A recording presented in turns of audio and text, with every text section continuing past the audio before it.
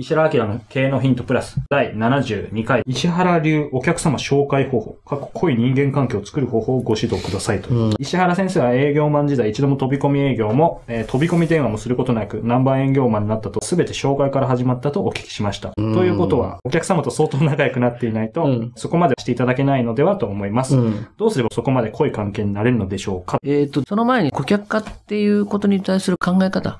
しっかり作った方が、それはそれでほら、顧客化していくためには時間かかるでしょ？そそうれで、いろんな人がそこを待てなくて、はい。結果集客してう、ん。売り上げ上がればいいよねってはい。いう発想になっちゃうでしょ？うん。そうですね、うん。そもそもその紹介とはどういうことかっていうあたりから、やっぱりそうそうそう。ビビジネスを構築する上で、紹介の位置づけってどこにあるの？はい。っていうのが分かんないと難しいっていうことですよね。どの、どんな仕事でも、最終的に顧客化が完成して初めてビジネスとして形ができたっていうふうに考えないといけなくて、はい。だからた単に売り上げが上がったっていうことはい。では、どうなるか分かんない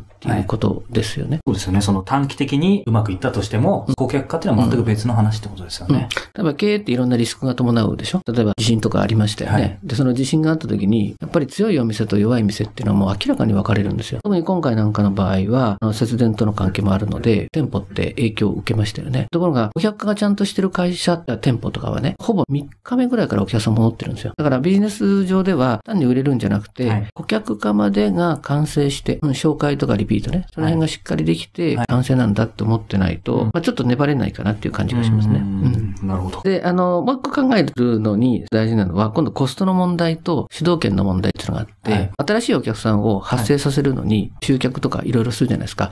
広告宣伝とか、紹介してくれた人がリピートするとか、はい。お客さんがリピートするとか、紹介者が新しい紹介客を出すっていうのは、基本的にはコストがほぼかからないっていうか、10分の1ぐらいでいけちゃうんですよね。なんで、そういう意味でも自分のビジネスの収益性考えるっていうことと、あとは主導権の問題があって、はい。飲食でも医療系の会社もそうなんだけど、もう集客100%インターネットですってなんか言う人いるじゃないですか。はい。それって言うと、もし何らかの形でインターネットの仕組みが変わったりとか、Google とか Yahoo の問題とかがあると、はい。ああいうものが起きた瞬間に、自分が努力できない要因で経営を左右されちゃう。で、しかもそれで採用しちゃって、その組織化し始めちゃったとか、社員20人とか30人いますよってことは、後ろ側にかける4倍ぐらいいますよね。っていうことになっちゃうんで、はい。経営者としては絶対ダメですよねっていうね。うんうん。もう考えられないね。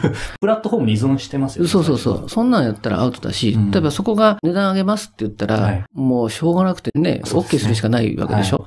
経営の主導権がないですよね。うんうんまあ企業っていうのはそうやって仕組み化してって、自分がいないと生きていけないような人間大量に作りながらやってるから、はい儲かるんだけど、そんなのにはまんまと乗っちゃったらアウトだよね。それを理解したりそうそうそう。でないと、簡単な方に行っちゃうのよ。うん。び自分のビジネスがはい。本当に完成するっていうところに行かないんで、はい怖いですよね。そもそも、どういう時に紹介は、えー発生するのか。あの、ビジネスやるときに、いろんなことが起きて、その起きてる現象の中で使えるものと使えないものを分けていくっていうかな。偶然起きていることなのか、再現性があるものなのかって考えるんですよで、紹介もそうで、再現性を持った紹介っていうのが重要なんですよねって。で、まあそういうのをこう考えていくと、メインになるお客さんを選んでいきながら、うんその人たちに紹介してもらえるようなアプローチをするっていうのが重要だと思いますね。うんほとんどの人が、お客さんが、まあ、例えば顧客化っていうと、お客さんみんなリピートしてくれるし、なおかつ、そのお客さんが頑張って努力すれば、はい。みんな紹介してくれると思ってるんですね。まあ、まあ理想はそうだよね。はい。でところがさっき言ったみたいに、起きてることの中をちゃんと見て、偶然なのか再現性があるのか、うんどういう確率で何が起きるのかって考えたときに、例えば自分が物を買うときにもはい、最初たまたま買うよね。でそんな中で、だんだん気に入っていくとことはい、1回2回買ったけど、あまり気に入らないよねってあるじゃない。これってお客さんの感情だし、はいライフスタイルに合うか合わないかっていうのがあるじゃない。はいだから、一回お客さんになってくれたお客方が、あるいは法人はがい、ずっと顧客でいる確率っていうのは、少し狭いって思わなきゃいけないんですよ。試しに買ってもらって、はいこちら側もアプローチしていろんなことをやっていくけど、それでも、はい。漏れていく人と残ってくれる人、ここが分かれるよっていうことが一個重要だよね。はい。うん、で、残った人たちの中でどういうふうに扱うかってことなんだけど、ここをランク分けしていくことが重要ですよね。うんうんビジネスなので、うん。はい。えっ、と、必ず費用対効果で考えなきゃいけないんですよ。で、まあ、ここで100人のお客さんから、トータルでで100人のお客さんが紹介されるとして、この中身ってどうなりますかって話なんですね。イメージでは、一人が一人を紹介してるような気がするんだよ。えだから全然違うでしょ。え違いますね。ど、どんな感じになると思います？まあ、2割の人が8割じゃないですけど、ぐらい紹介してる感じですよね。そうですね。だいたい100人で100人出る場合は、有力な10人がかける10人ぐらいを紹介したり、すごい実感があります。100人の中で3人が30人ずつ紹介したりとか、そんなことが起きるんですよ。で、そこの人たちを特定できるかっていうのは重要で、うんうんで、その人たちに対して費用やあのコストをかけるっていうことが重要で、はいまあ特別扱いするっていうのがすごく重要ですね。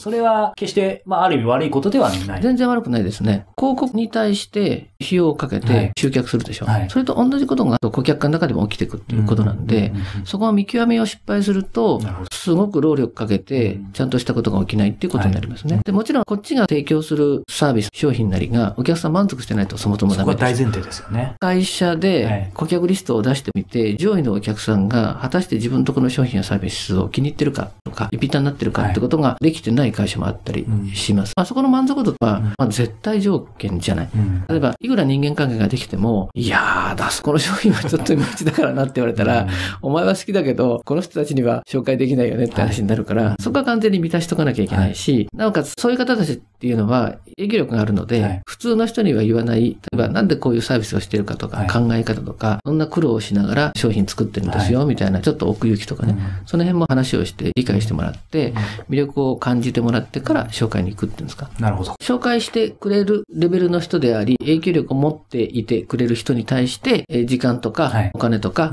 労力をかけることを戦略的にやっていかないと、顧客化から新しい主役は出ないってことですねなるほ。ど。ちょっとまとめさせていただくと、いかに紹介してくれる方を、えー見極めるかっていうところがポイントになると思うんでそうそすけども。う。でそんでもってこの話し方どうのこうのってあるじゃないですか。はいで、今度ね、その人たちの性質を一人一人見ていくんですよ。話してねって言わなくても話してくれる人もいれば、えどうして話してくんないのって 言わないと話してくれない人もいるでしょ、で、その中で話し方を勝手に工夫してくれる人がいるんですよ。まあ、こういう人が一番いい人ですね。はいで、そうじゃない人には話し方、うちのことをこういうふうに、こういうふうに話してくれるとうん分かりやすいから、はい。はいっていうふうに教えた方がいい人もいるし、それはもう一人一人個別対応すれば面白いんじゃないかな。ああ、多分この方の事業は大きくないので、はい。3人から5人、こういう有力な人をきちっと決めて、えーさっき言った労力をちゃんとかければ、はい。ビジネスが回ってきますよね。うんうんうんそこまで回した時に初めて、あ、事業の完成は、はい。こういうことをもって完成なんだなっていうことが、まあ、わかるじゃないですか。うん。そうすると発想が変わるよと思いますけどね。まあ、あの、紹介をする気がある方でも、説明がうまくできない方とかがいたら、やっぱり、まあ、一つツールみたいなものがあってもいいですよね、きっとそうですね。パンフレットとかね。はいまあ、ホームページって基本的にはそのために作るんだよね。だからよかったら、あそこのホームページ見てね。その中のここのページ見てねって時に、そこにちゃんとお客さんがね、ね興味を持つような内容が入ってれば、うん問い合わせにつながりますよね。うん紹介と一部分だけを見ずに、その4ステップの中の一つだっていうことをきちんと。そうそう。だから、まあ、経営ってそもそもどういうことを持って完成したかっていう考え方が、はいほとんどできてないでしょ。だから、まあ、ちょっとなんか大騒ぎがあ起きたら、根幹から崩れちゃうっていうリスク管理ができてないってことですよね。ということで、考えていただければと思っております。石田さんありがとうございました。はい、ありがとうございました。